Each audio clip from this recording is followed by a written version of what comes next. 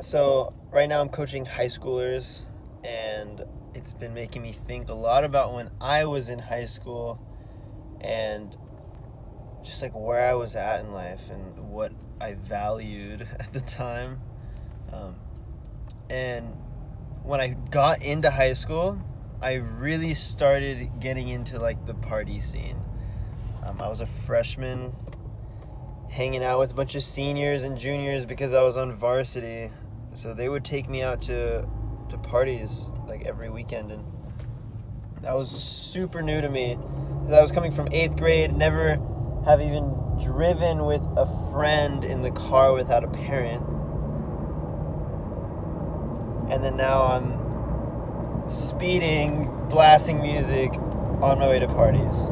So that was just like at the time I was like, dang, this is the coolest thing ever. Uh, so as the years went on, it became more and more um, a part of my life, and and when I moved high schools, it was it became even more of a part of my life because I wanted to fit in so bad. So I was like making sure I was going to these parties and doing all these things and I was kind of a lone ranger, but I, so I, I started experimenting with my own drugs. Um, just trying to feel something, trying to feel as good as possible.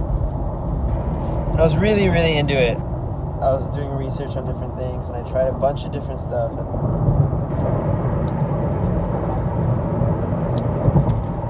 and just coaching these high school students, I see the temptation. I see the temptation of, of being accepted and being in the party scene and having fun and thinking that that stuff is going to bring pleasure, that that stuff is going to bring happiness.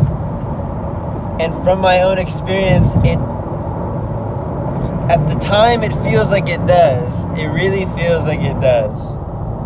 But now that I'm living my life for God, that stuff does not even come close to the joy and peace that, that Jesus brings.